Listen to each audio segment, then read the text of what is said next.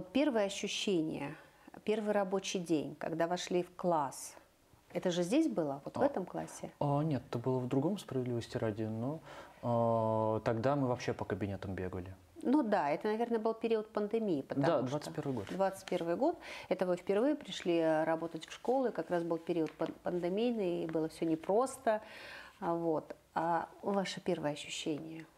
А мое первое ощущение, наверное, то, что я не выспался, потому что лег в 2 часа ночи. Это было самое первое ощущение.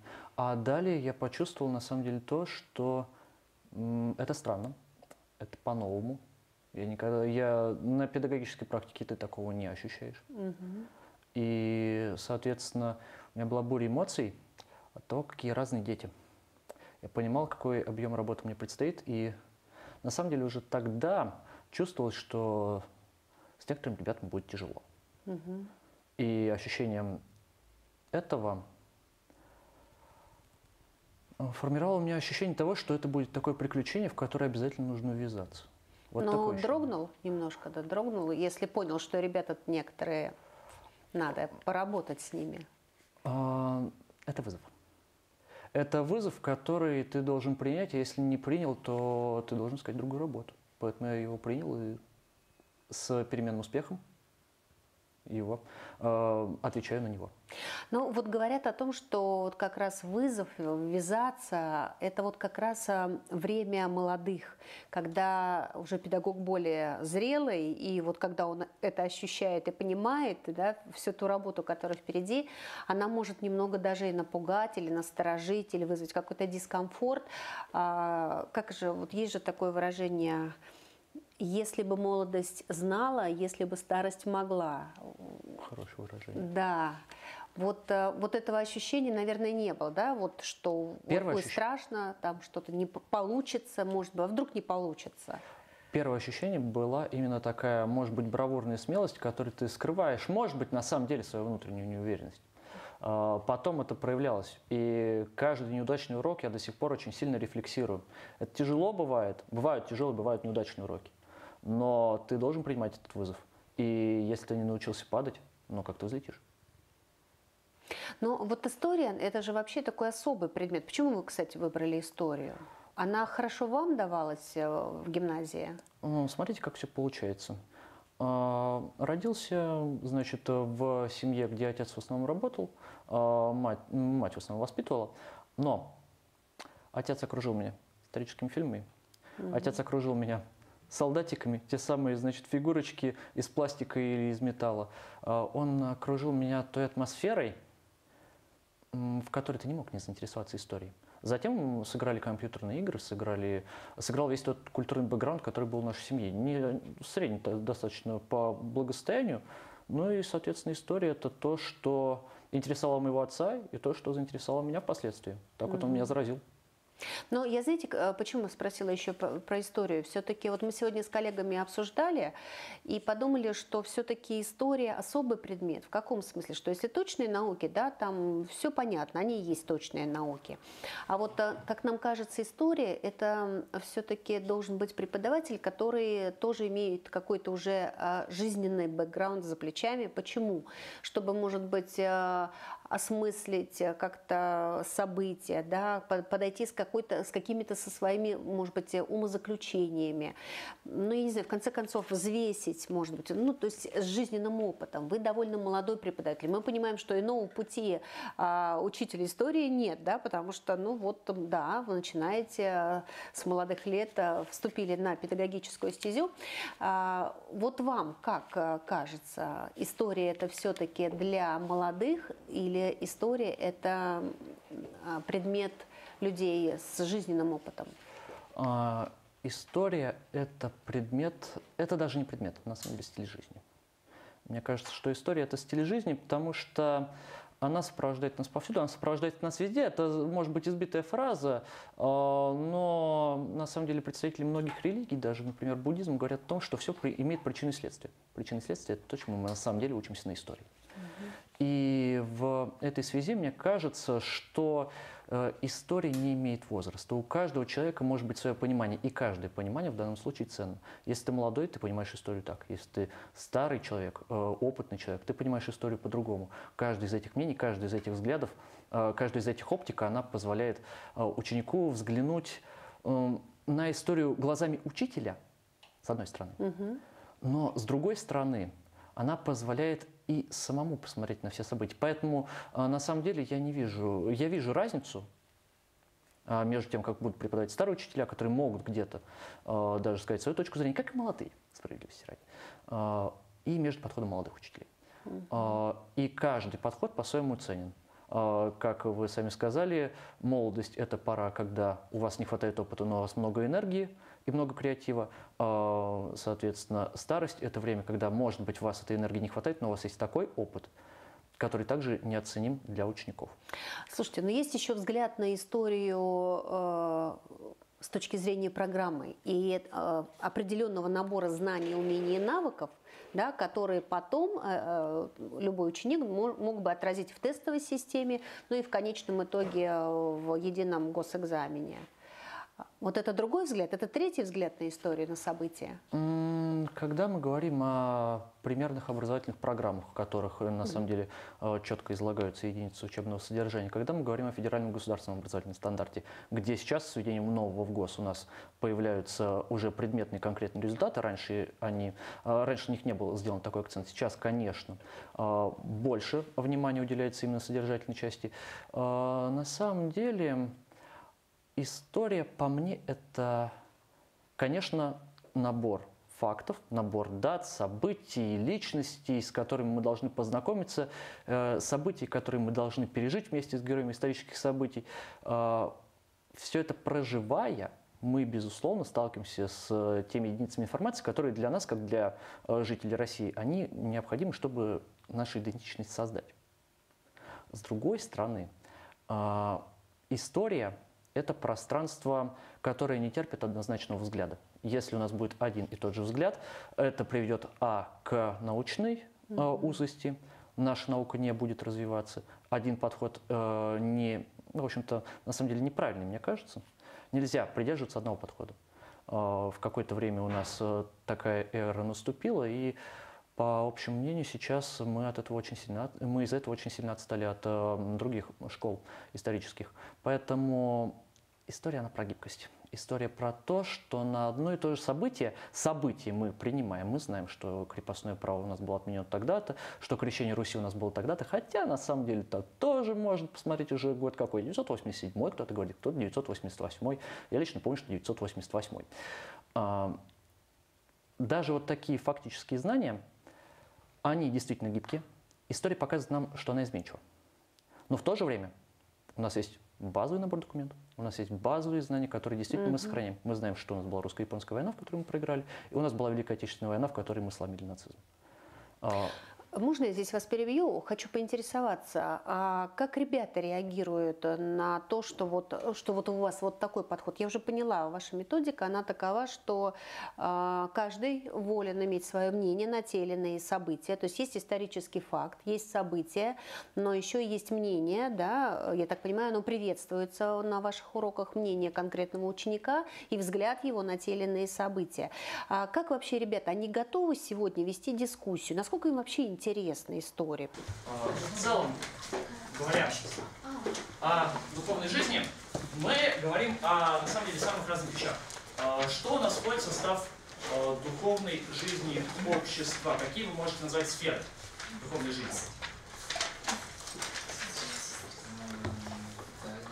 А, Так? Образование, Образование. Еще. культура, В состав культуры что будет входить, например? язык, Язык. Отлично. Еще. Религия. Прекрасно. история. А, История как, как что? А, История как э, ну, наследие э, общества. А, так, и история еще может считаться... О, ну, история не искусство, но искусство действительно часть духовной сферы. А, кроме истории, например, экономика, например, э, а, например, биолог- биология или физика, это у нас что? Э, Это, во-первых, школьный предмет. А во-вторых, в рамках этого школьного предмета мы, по сути, сталкиваемся с чем? Образование. Получение образования. В процессе получения образования мы знакомимся с чем? С миром через систему чего? математических действий. Э, Не только действий, э, но и сейчас я вам дам подсказку. Сейчас я вам дам подсказку. На слайде вы увидите трех замечательных людей.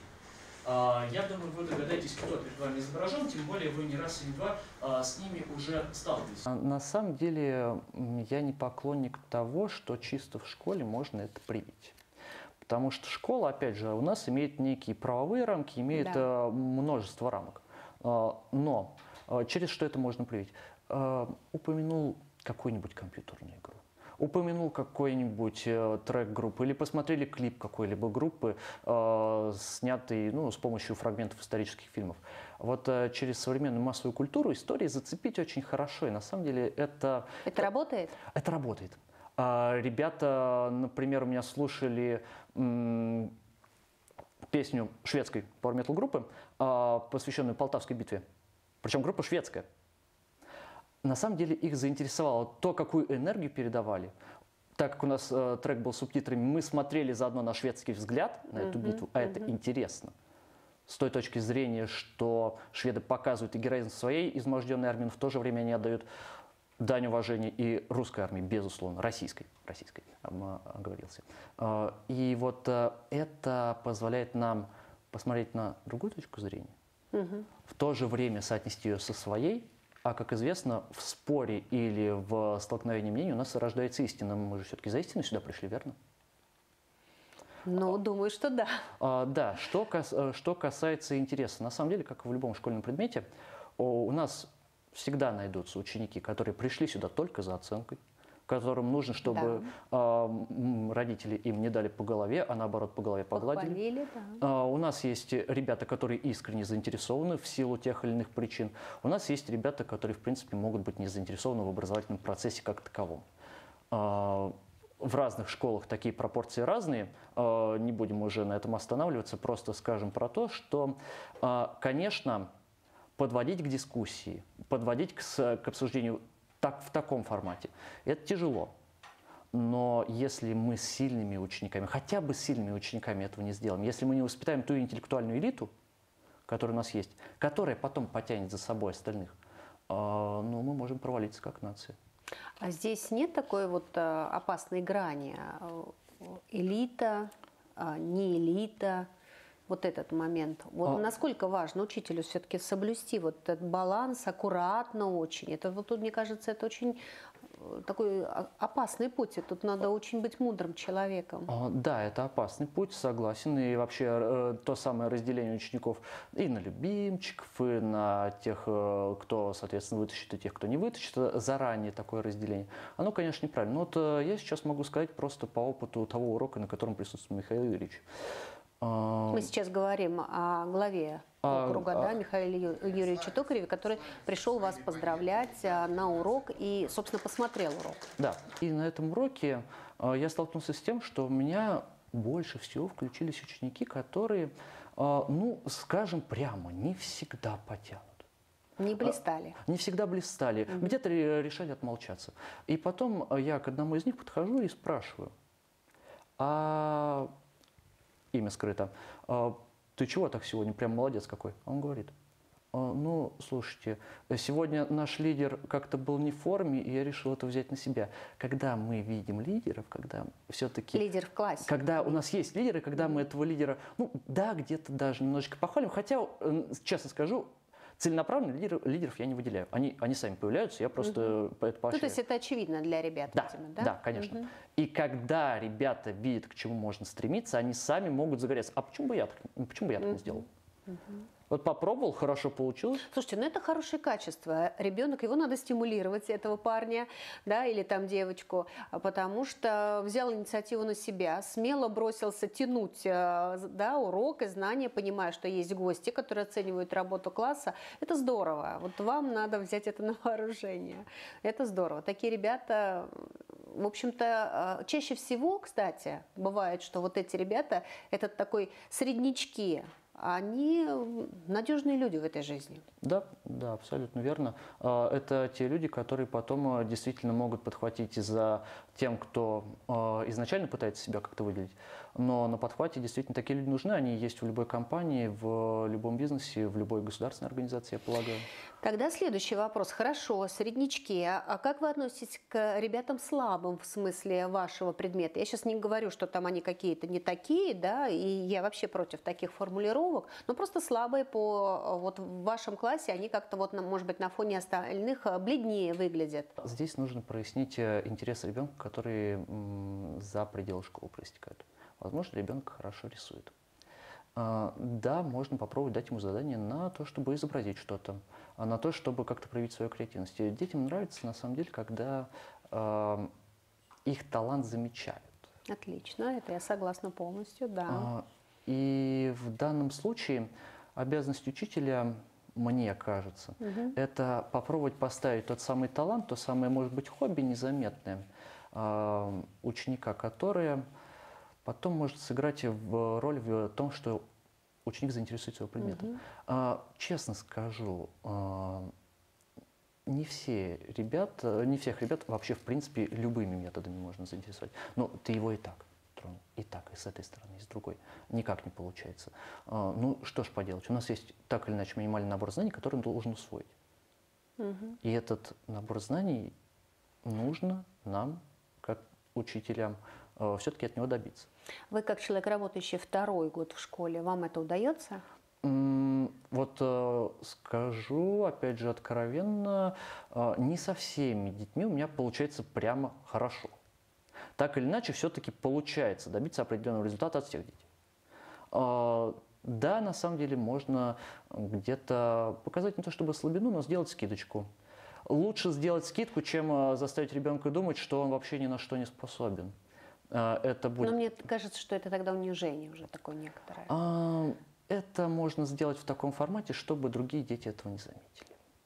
Есть много методов на самом деле. А, Мне это на самом деле еще мой дефицит, но нужно еще посмотреть, как, такими, как можно заинтересовать слабых детей. И это на самом деле то, что, мне кажется, у молодых педагогов всегда провисает. С сильными ребятами работать легко. Ты попробуй вытащить слабых. И результатов добиваться учителю легче. Конечно. Да. конечно. А, Ну и в такой ситуации а, действительно учителю просто а, нужно, да, где-то пойти на компромисс, да, где-то а, дать не то чтобы слабину, но дать возможность ученику как-то исправиться и дать ему возможность почувствовать, что а, его слабость может стать силой. Это может быть какие-то красивые общие слова, действительно, но я не могу это выразить по-другому.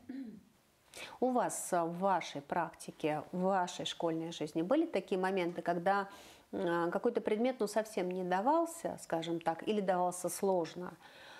Вас тянули учителя? А, Мне кажется, да. Какой А, это был предмет? А, а можно я промолчу, чтобы не подставлять других педагогов? Хорошо. Вот. э, Не, на самом деле у меня были несколько предметов, а, по которым э, действительно нужно было подтягиваться. Но здесь нужно грамотно соблюдать баланс. Иногда пришпорить двойкой нужно. Это полезно бывает. Иногда нужно дать ученику скорректироваться. Здесь важен баланс. и Этот баланс – это то, действительно, что нарабатывается, а, с опытом, б, с э, изучением различного рода литературы, ну и, в общем, своей профессиональной подготовкой. Дмитрий, вот э, вам 22 года? 23. 23 года. А, Простите, э, Бывает. да, да, но 23 года, а, довольно молодой еще педагог, самое начало, я надеюсь, э, большого такого педагогического пути. А, Какими вам кажутся ребята, которые, ну, которые, мне кажется, не так далеко еще от вас, да, все-таки, мне кажется, вы их лучше даже понимаете, а, вот нынешнее современное поколение. Они какие? Быстрое мышление, Очень быстрая реакция или мышление? и реакции, и мышление. Оно из-за этого может быть сбивчиво. э, У ребят просто могут мысли не поспевать за языком. Такое я часто встречал. На самом деле это у меня встречается, справедливости ради. А, В целом можно сказать, да, а, быстрое мышление, а, б, мышление достаточно разрозненное. То есть устанавливать связи – это тяжело. И когда ты начинаешь а, заниматься какими-то подсчетами на истории, они спрашивают, эй, что, математика? Почему мы на истории занимаемся математикой? А, С другой стороны, а, на самом деле связь предметов они могут почувствовать. На самом, деле, на самом деле дети у нас очень умные и очень продвинутые.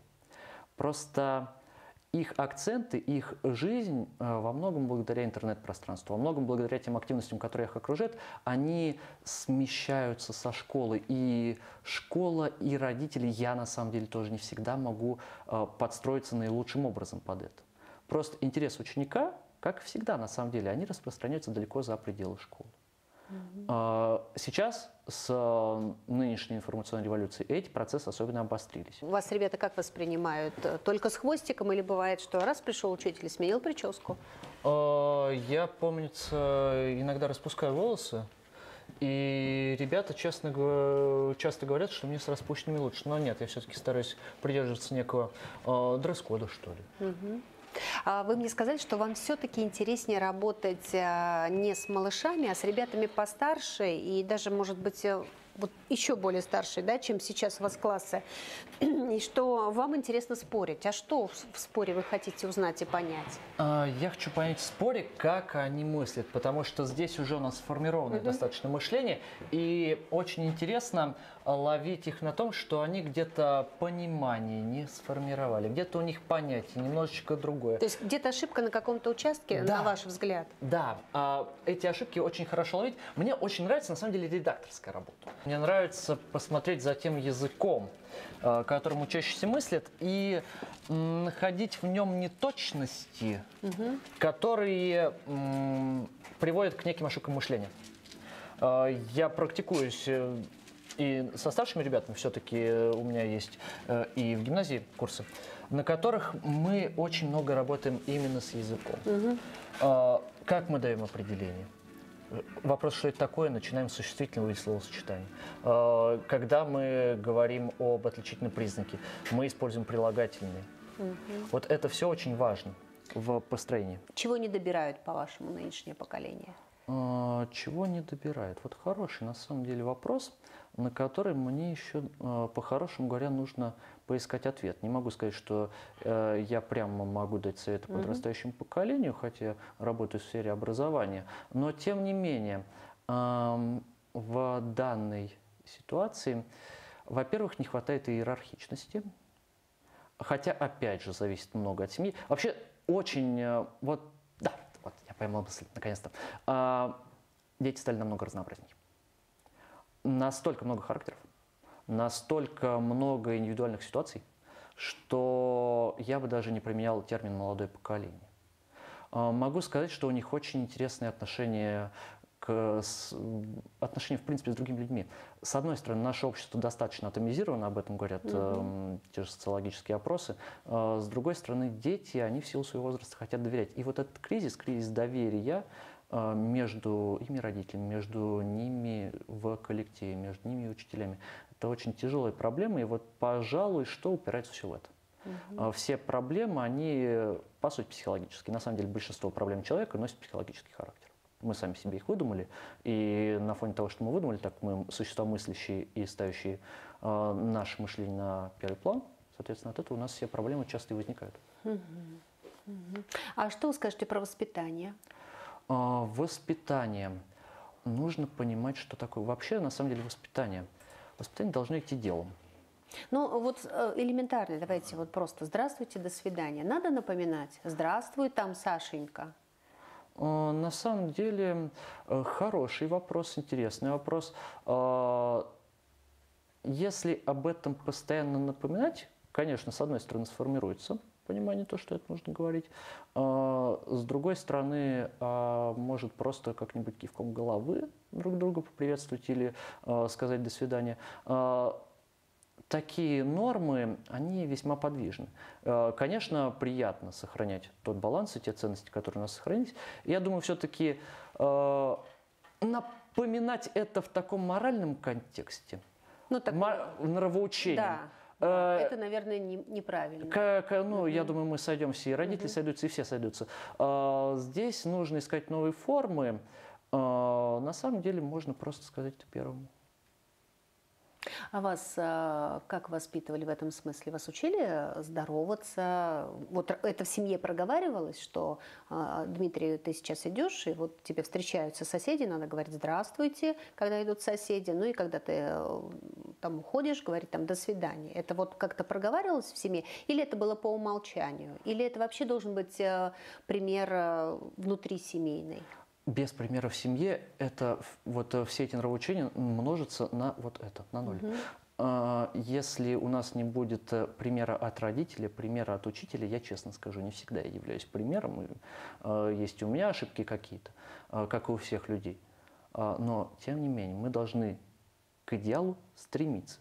И родитель, и учитель, и ученик. Мы должны показывать, что этот идеал существует, что мы можем на пути его достижения оступаться, но мы должны подняться и пойти к нему снова. Даже если мы упали на несколько ступенек вниз, мы должны взяться и снова по этим ступенькам пройти. Здесь самое главное – сам путь. Как говорится, у самурая цели нет, у самурая есть путь. Вы мне сказали, что вы э, один в семье, и вы росли в атмосфере, где вас баловали. А как вы это поняли? Вы сейчас это уже понимаете? Или уже тогда понимали, что вас балуют, и э, с удовольствием пользовались этой ситуацией? Ну, во- во-первых, у меня фамилия Балуков, поэтому, конечно, видимо, это судьбой было предначертано. А, в чем это проявлялось? Это проявлялось в подборе еды. Все делали, значит, по моему вкусу. Это проявлялось в тех э, не мелочах, но в том быте, который меня окружал. Э, я больше скажу, наверное, я по жизни балую не судьбу, потому что в гимназии отлично приняли. А После гимназии в университете прекрасно все сложилось. С преподавателем у меня а, ни одного конфликта, насколько помню, не случалось. Здесь, в школе, меня прекраснейшим образом приняли. Завучи, мое почтение, директор максимально понимающий. И, конечно, наставник Светлана Валентиновна Карнаухова тоже дала мне очень много. И все люди, которые мне встречаются на пути, это люди очень добрые, с которыми можно наладить диалог. И, на самом деле, я баловень судьбы по жизни, да, наверное, так. Баловень судьбы. Да. А как вы считаете, а, те люди, которые старше, более старшего возраста, они должны быть в социуме? Или они все, вот ты поработал, и, э, там, иди на заслуженный отдых и дальше дай дорогу молодым? Помните, вот как в советские времена, молодым везде у нас дорога, старикам у нас э, везде почет. Вот это сегодня так или все-таки сегодня уже в совре- в современных условиях, условиях работает другая формула, на ваш взгляд? А, На мой взгляд, на самом деле, и в российском обществе, и, в, и во многих европейских обществах, если мы посмотрим на политиков, очень старые люди. А, Если мы посмотрим а, на вообще, в принципе, многие азиатские, да вообще по всему миру у нас общество форму- формируется так, что многие старые люди могут сохранять себя в обществе. С другой Пожилые, наверное, Да, да, с, друг- с другой стороны, в России есть феномен самых одиноких стариков. Я, конечно, сейчас выхожу, на самом деле, не на образовательную проблему, на проблему социальную, в которой мы можем погрязнуть. А, Но все-таки мне важно проговорить, если в контексте данного вопроса, а, то, что а, человека нельзя оставлять в информационном и социальном вакууме. И несмотря на то, что да, учитель может постарел, его методики устарели, к ЕГЭ он, к ЕГЭ он уже не так эффективно готовит и, казалось бы, тянет какие-то показатели вниз. Э, Он может проявить себя как мудрый человек с опытом, который поможет молодому. И институт наставничества – это, мне кажется, то, что может э, спасти опытного педагога, который уже не имеет столько энергии для того, чтобы реализовывать себя именно как учитель. И в данном случае у нас на самом деле идет в этом направлении развитие образовательной системы. Как раз институт наставничества – это то, на чем делают акцент. А как вы считаете, институт наставничества должен быть во всех сферах жизнедеятельности? Или вот мы сейчас говорим только в педагогике, на ваш взгляд? А, так как педагогика – это работа с людьми, а люди у нас формируются, опять же, на основе каких-то причинно-следственных факторов, ну, соответственно, ребенок у нас не табула раса, ребенок у нас рождается с э, генетическим набором, с тем социальным окружением. Э, Опытные педагоги работали, могли работать с родителями этого ребенка. Они понимают, в каких условиях он мог вырасти. И в данном случае, конечно, в работе с людьми наставничества и передача опыта от поколения к поколению, она э, должна развиваться максимально. В каких-то сферах, которые требуют инновационных и креативных решений, э, и роль такого института, как наставничество, может быть не такой высокой. Но в самом деле, э, если мы возьмем э, тоже программирование, очень быстро у нас меняется ситуация, и поэтому здесь, конечно, роль опыта важна, э, но очень часто новые идеи могут э, сыграть э, даже большую роль, чем имеющийся опыт предыдущих поколений. Дмитрий, у вас э, друзья есть? Или друг? Это обидный вопрос, на самом деле. Э, Да, друзья у меня есть, э, достаточно близкие. Э, Их небольшое количество, как и должно быть, но с гимназии сохранились. А почему обидный вопрос? А, а как у педагога, работающего с людьми человека, не может быть друзей, по-вашему? Может быть, приятели, товарищи, но друзья. Может быть, вы какой-то особый смысл вкладываете в это слово. И не каждому бы доверили, ну или, скажем так, не, не всем бы, да, не каждого бы назвали другом. Вот только поэтому. Мгм. А, да, хорошо. Тут пояснение э, хорошее, оно меня, так сказать... Спасибо, да? Да, Всё, оно меня А удовлетворило. я уже думала, сейчас вы мне скажете дневник на стол. Да, за, зачет. Да. поста- зачет поставим. А, собственно, а, мне кажется, у любого человека так или иначе есть э, человек максимально ему близкий по взглядам или чему-то такому. Ам, совсем без друзей обойтись в этой жизни тяжело. Поэтому даже если мы понимаем друга как нечто особенное, как нечто максимально элитарное, мы все равно впускаем в свою жизнь человека, который э, может э, оказать нам поддержку э, даже не материальную, а вот именно духовную, быть такой поддержкой, человек, к которому можно выговориться, человек, с которым можно обсудить какие-то проблемы и обсудить вопросы, не связанные с работой. Это очень важно учителям, на самом деле, всем иметь друзей не в школе. Не в школе именно.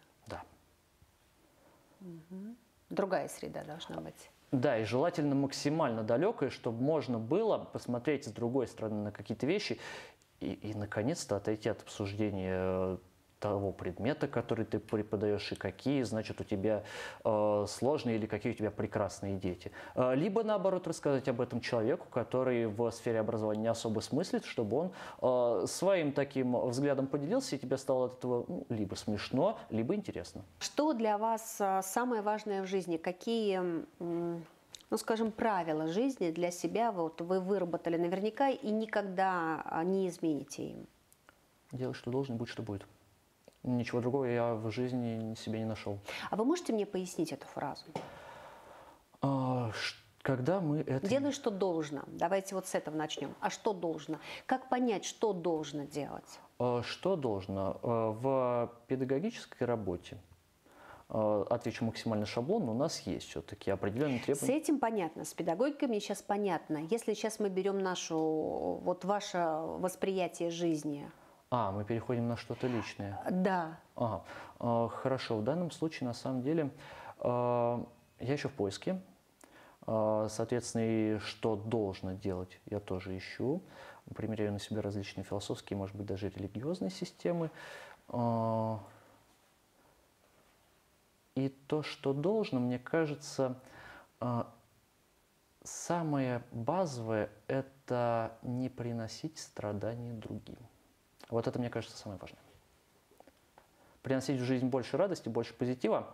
Э, Это не всегда получается, и это не должно быть единственной целью. Но э, мы не должны приносить страдания. Вот, пожалуй, это я обозначу как э, тем, что для меня кажется важнейшей жизненной целью. а будь что будет, это вот и есть не приносить страдания. А будь что будет, а дальше, понимаете, мы взаимодействуем с людьми в обществе. А люди сами решат, как оценивать те или иные наши поступки. Они могут оценить это как э, причинением страданий. Хорошо. Э, Каждый человек проходит свой жизненный путь. Э, Мы на этом жизненном пути встречаемся. Мы встречаемся в классе или мы встречаемся в жизни. И затем каждый вынесет то, что он хочет вынести. А вы планируете строить свою семью? Честно скажу, на данный момент у меня таких мыслей. То есть сейчас главное это все-таки профессия. У меня главное сейчас профессия, я хочу самореализоваться. Э, Честно скажу, я хочу заиметь э, соответствующий уровень материального благосостояния. Это, конечно, забавно звучит, когда э, мы говорим с человеком в сфере образования. Нет, Хотя- все-таки мы давайте мы это обсудим. А, Нет, на самом деле в образовании, в принципе, а, материальное благосостояние можно а, какой-то уровень сформировать. А, Не буду акцентировать, не буду, конечно, говорить о суммах, понятное дело, коммерческая тайна. А, Тем не менее, мне кажется, что я могу добиться в той сфере, которая мне нравится, того уровня благосостояния, который я для себя вижу. Но все-таки, если бы вы, ва- вам вот сегодня или завтра или потом позже вы, вам придется строить свою семью, и вы будете строить свою семью, а, э, вот э, какие главные принципы будут? Вот на чем будет строиться ваша семья? Вы, э, как вы считаете все-таки, кто главнокомандующий в семье? Или это равные права? Как вот у вас, какое представление о семье в этом смысле? Право слово, как будто анкета для сайта знакомств. Ну ладно. Ну, что А, делать? Ну ладно, а, значит, в данной ситуации а, мне кажется, что все исходит от того, какие партнеры в это вступают. Если человек, если девушка или если парень хочет находиться в подчиненном положении, почему мы должны его ограничить в этом? Каждый человек ищет партнера по себе. И исходя из этого уже мы и получаем то, что хотим. Я, честно скажу, пока не могу сказать, какой партнер мне нужен. Поэтому, пожалуй, вот э, в этой теме мало что я могу фактурно рассказать. Скажите, вы когда пришли в школу, у вас а, по имени отчеству стали называть, а, был какой-то дискомфорт? Он и сейчас есть. Почему? Не знаю, просто сейчас, конечно, меньше, э, но в целом э, мне не нравится, на самом деле, даже когда меня по имени называют. Что говорить о имени отчестве. А почему? Может быть, это комплекс какой-то? А, Возможно, комплекс. Но не то, чтобы это прям э, не нравится, скорее просто, ну так, ну да, хорошо, называйте, но в целом, если, если можно обойтись без имени, я предпочитаю просто безличное общение. А к ребятам А, К ребятам как обращаетесь? а, спрашиваю всегда сначала на «вы», потом «можно «ты»? Можно, окей. Но по имени? А, По имени, когда по полному, когда по сокращенному. Это на- как, например, даже по имени и отчеству, что ли? Не, э, например, Константин, ваш ответ. Ага. Или Владимир, ваш ответ. Ну, а там э, на перемене можно Володь, ну, слушай, ну, тут, тут вот так и так, поэтому такая цена. А что вот от этого зависит? Почему на уроке на «вы», а на перемене на «ты»? Это для чего? А, Не-не, смотри. Это не э, такая манерность какая-то? а, Нет, это не манерности, а а, тут немножечко, может быть, неправильно объяснил. Сначала вот вошел в класс, первый раз. А, когда мало знакомые Да, еще, когда да? мало знакомые на вы, а потом уже перейдем на ты. Перейдем? Хорошо. Не перейдем? Ну, мало ли, может, ребенку будет некомфортно. Что тогда буду на вы обращаться. Ну, всем обычно на ты комфортно. Хотя мне больше нравится на вы. Вы всех своих учеников сейчас по имени знаете? А, В разных классах? Честно скажу, стараюсь всех выучить, но прям вот э, все списки не перечислю.